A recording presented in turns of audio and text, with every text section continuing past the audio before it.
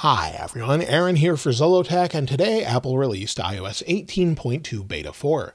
iOS 18.2 Beta 4 is available to developers, and iOS 18.2 Public Beta 3 should be out soon. This is available to all iOS 18 supported devices, even if it doesn't support Apple Intelligence, and it came in at 788.5 megabytes on my iPhone 16 Pro Max. This was released alongside many other updates with iPadOS 18.2 Beta 4, macOS 15.2 Beta 4, watchOS 11.2 Beta 3 with a major fix, and a few other updates, and the other day tvOS, HomePodOS, and visionOS beta updates as well. Now let's go ahead and take a look at the build number and talk about what's new. So we'll go to settings, then general, then about. And as you can see, the build number is 22C5142A. This is the first time we've seen an A at the end of the build number, meaning we're getting close to a final release. Now it may be a few weeks. We'll talk about when to expect that a little bit later. But the first thing to know about this update is there is no modem update, but there are some new features. The first new feature actually has to do with settings. If we go into settings, we scroll all the way to the bottom and go to apps, at the top now we have two different things. Default apps, and I actually have app installation, although I know not everyone has this. If we go into default apps, we can then select default apps for email, messaging, calling, call filtering, browser, passwords and codes, contactless app, and keyboards. For example, you'll see your normal keyboard layout here. Under contactless app, you could select your wallet or something else that uses NFC.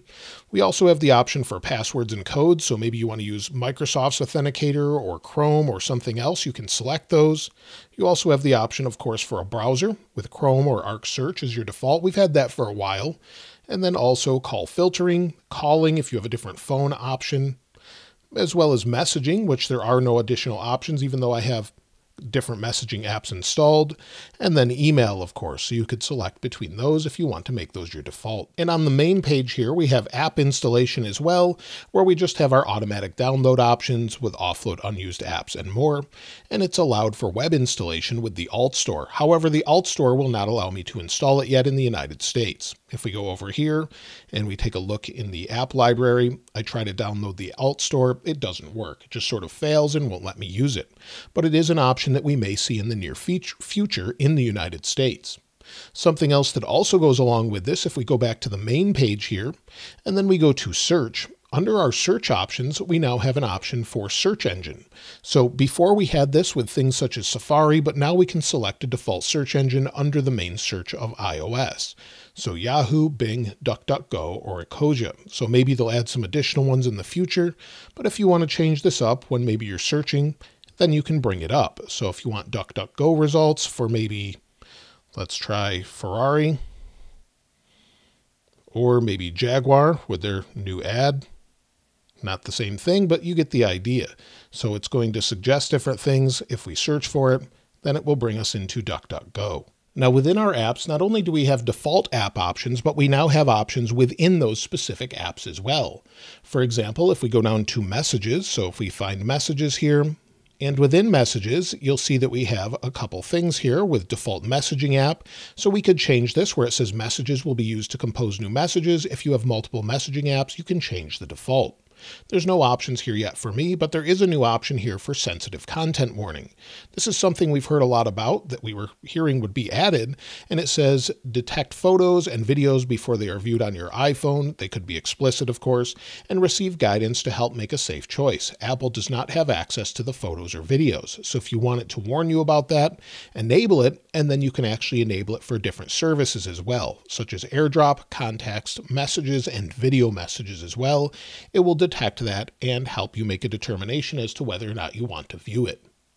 If we go back into the same sort of settings, but this time for mail, of course, we have the same thing with default mail app, and you'll see we have the option here just like we do in the other page. If we go into Mail itself, the icons that show up next to the different companies, such as EA or Bose, actually are rounded now. In the previous update, they were squared off, and now they look a little bit better. So that's just a slight update here. Within the Fitness app, there's an update for awards. Under awards, we now have some new ones for all rings closed. So these are new awards you can actually win, and they're based on 100 all rings closed, and more. So as you scroll through, you'll see more and more of those as you try and earn those different awards as they've been updated. Now, Apple Intelligence gets a small update that looks like it's making some different choices when using Image Playground. If you have this enabled, you'll see the top images here. The top three I actually made with the latest version. It actually portrays me differently with the same exact photo. So this is some that it did before.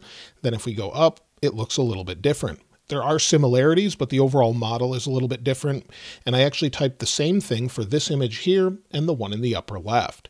So that gives you an idea. If you want to create something, you could just pick here, show more, maybe at a party with fireworks and maybe a birthday. And then we'll give it a second to create this.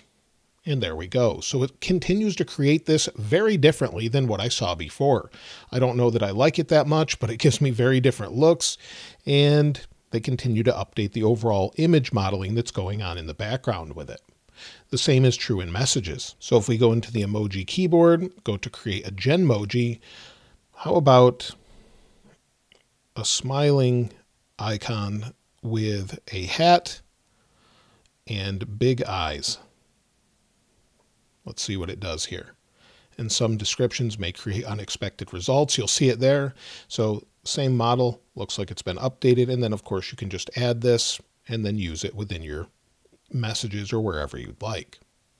Now, something they haven't updated yet is if we go back into our settings here, we go back into accessibility, under accessibility, we have the new camera control option, but they haven't updated the icon just yet. So we're waiting for them to do that. And we've heard different rumors that we're actually going to have the option to, when it's finally charging, to show us that it's charging and give us a time remaining. So if I go ahead and plug it in here, this is something we may see in the future. But if we plug it in like this, then I lock the phone, it doesn't give me any information. I'm not sure why. Hopefully they'll add this in the future. And within Apple's public-facing release website, you can see the release notes here, where they continue to work on this with Beta 4, and they've resolved issues with the AV Foundation. There's still some known issues with ChatGPT integration. For example, for devices with MDM profiles, users with anonymous restrictions are unable to sign out and the workaround is use the ChatGPT restriction instead of the ChatGPT anonymous only restriction. Find My, they've resolved an issue where playing sound and precision finding features of AirTags, AirPods, and third party Find My enabled accessories might not work. That should work now. There's some known issues with messages still, where messages might not appear. That's been around for a while. And there's known issues with stickers still, where they might not appear in the emoji keyboard. The workaround is to use a numeric passcode instead of an alphanumeric one, change to numeric passcode, then restart your device. That should fix the bug that many are experiencing. And I'm thankfully not seeing that bug. There are other known issues here as well. But if we go back into messages, within messages if we go to the emoji keyboard. This was fixed with me for me with beta 3 and hasn't returned since. But if you are having an issue, that at least gives you a workaround for it to fix the problem. As far as other things they've fixed, well, some great news is with Apple Watch. The great news is with WatchOS 11.2 Beta 3, Apple fixed the battery health bug. With Beta 2, it reduced the battery health on the new Apple Watch Ultra.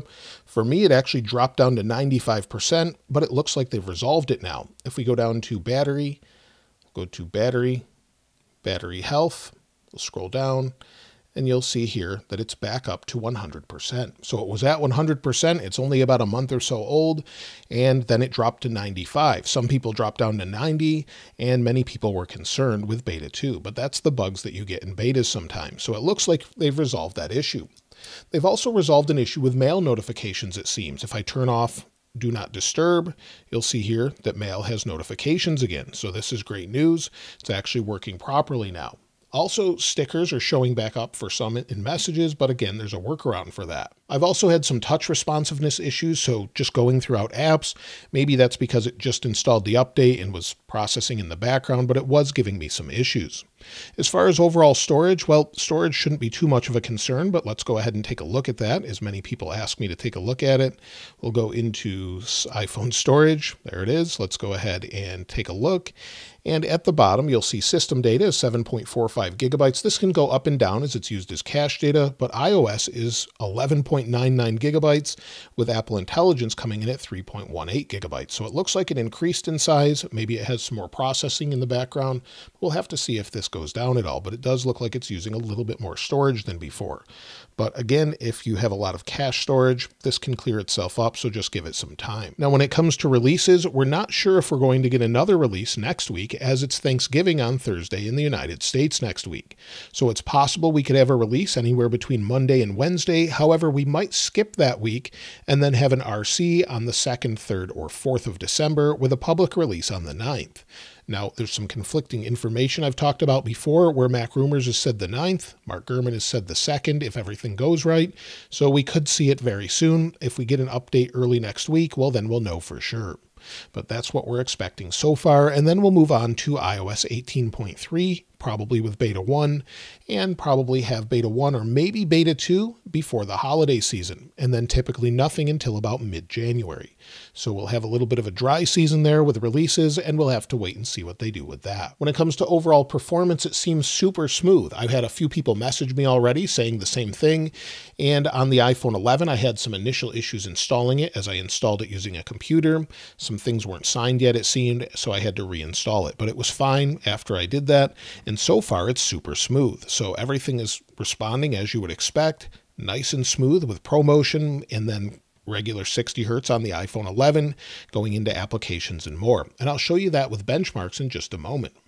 When it comes to the overall heat of the device, well, if you use Apple Intelligence, it will warm up a little bit, but it's staying nice and cool in general. It's a little bit warm to the touch, but I think that's probably because it's processing a lot in the background.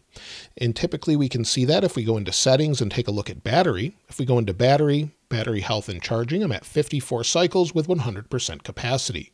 You'll see here it says update finishing in the background, so this is definitely still processing. So I'm glad that they include that message. If we go to the last 10 days, Beta 3 was pretty terrible on battery. 2 hours and 57 minutes of screen active time, 6 hours and 2 minutes of screen idle time, and I used 75% of my battery. So that's pretty much what I was getting, three to four hours, and then I would have to charge. Hopefully this fixes it. We'll have to give it a few days, and we'll talk about that on Saturday with the weekend follow-up video. Now, if you're wondering if you should install iOS 18.2 Beta 4, well, if you're on iOS 18.1.1 that released yesterday, I would probably hold off. Stay on the stable release for now if you're trying to solve any issues, Going to a beta typically won't do that. But if you're on beta 3, I would definitely install it. And if you're on public beta 2, wait for public beta 3 or install that. Otherwise, I would probably hold off for now. As far as the overall benchmarks, I did run those as I mentioned, and we're seeing really great scores on the iPhone 11 and the iPhone 16 Pro Max. So if we go back here, we'll go to the history. This is the wrong version go into here. You'll see on the iPhone 16 Pro Max, I had 3,429 for single core, 8,555 for multi-core. If we compare that with the history, that's much better for the multi-core, about the same for single core. It's within the margin of error, but much better for multi-core overall. In fact, some of the highest I've ever seen as far as their scores. The same is true on the iPhone 11. So it's doing much better as far as that goes, just with general benchmarks. And so that's pretty much everything in iOS 18.2 Beta 4 so far. If you found any additional features or changes, I'd love to hear from you in the comments below. And of course, I'll link this wallpaper in the description like I normally do. If you haven't subscribed already though, please subscribe. And if you enjoyed the video, please give it a like. As always, thanks for watching. This is Aaron. I'll see you next time.